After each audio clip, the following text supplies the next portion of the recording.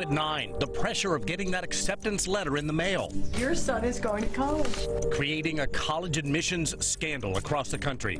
Parents accused of paying millions in bribe money, all to secure a spot for their kids at some of the country's top tier schools. So, what really matters when it comes to getting that all important acceptance letter? And joining us now is college counselor Marianne Nordhorn from Winter Park College Consultants. We appreciate it. I talked to you just about a year or so ago and always Yes, enjoy talking to you. Um, when we talk about this this scandal, it's maybe not surprising because most parents, when they're trying to get their kids, they'd walk the world over to get their kids a blade of grass if they wanted it. They're trying to get them in. So you probably uh, were faced with this before. Had to tell a parent that your kid didn't get into Florida or Florida State or whatever. And they're like, well, what can we do? And have you ever had to talk anybody off the ledge of doing something maybe a little drastic? Oh, Bob, of, of course. As parents, we care so much about our children and want the best for them.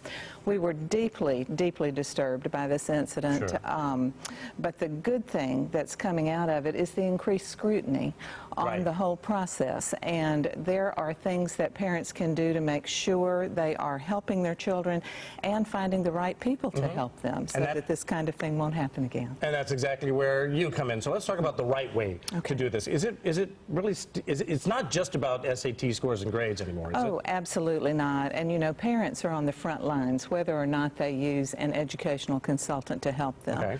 So the very first thing they can do for their students, for their children, is to believe in them. Mm-hmm. Your child has something very special and worthy about them. And with 5,000, over 5,000 colleges in the United States, there are many that are going to appreciate those special qualities that your children have. So what do you do to let a college know about those special qualities that sets my child apart? What a great question to ask. And parents, again, can do many things on their own.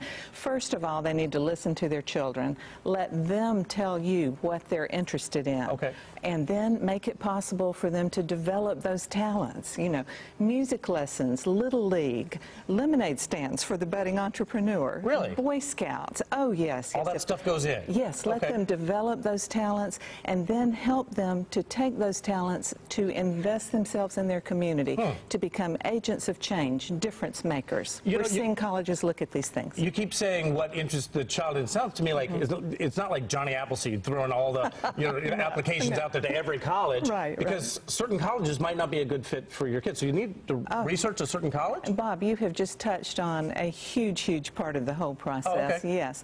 The correct fit, the optimal fit for your child is just so, so very important.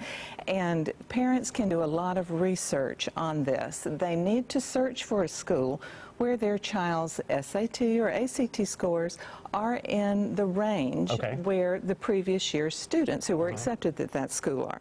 Now, if it's a highly selective college, they need to be in the top quarter Okay. of that. So Okay. even so, so parents can help their students prepare for the standardized tests by engaging tutors, or they can take advantage of many of the free online resources for test preparation.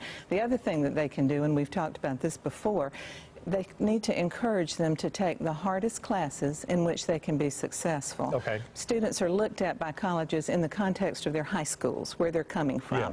And the harder their classes that are available to them, if they take those tough classes at their own schools, Yeah. they're going to get more consideration. It, it can backfire though too. You can take a tough class that maybe you're not prepared for, right? And then, Right, and then you right. do lousy at it. Sure, Uh, Let me let me ask you because parents probably need to ask themselves some tough questions as well. Like, hey, we got into you know Harvard, great. Sure.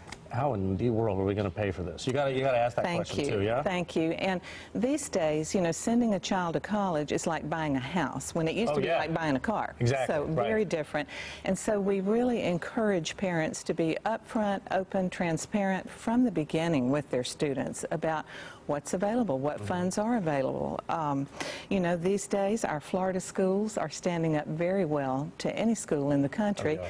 And we have this fantastic in-state tuition. We have the Bright Future Scholarship Right, opportunity that's very available to our students.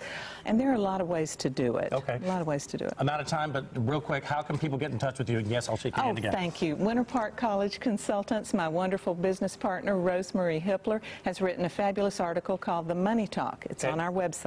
I, we'd love to share it with you. Well, Marilyn, we just love having you here, so please don't be a stranger. Come back and talk with us Thank more. you so much for I've- inviting I've, me. I've got a junior in high school, and I'm going to need to talk to you oh. some more about that. We'll have fun. Great.